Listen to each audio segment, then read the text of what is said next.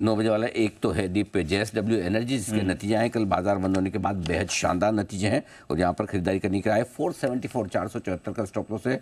Four ninety eight five zero two five one zero. चार सौ अट्ठानवे पाँच सौ दो पाँच सौ दस का टारगेट है। ऑपरेशनल परफॉर्मेंस बहुत स्ट्रॉन्ग है। थर्मल और रिन्यूएबल दोनों ही बिज़नेस ज़बरदस्त काम कर रहे हैं। बैलेंस शीट एकदम मज़बूत है डेट कंट्रोल में है स्ट्रॉन्ग कैश फ्लो है। यहाँ पर भी इंफ्रा कंपनियों में फावर कंपनियों में कैश फ्लो मज़बूत हो यहाँ खरीदारी करने की राय दूसरा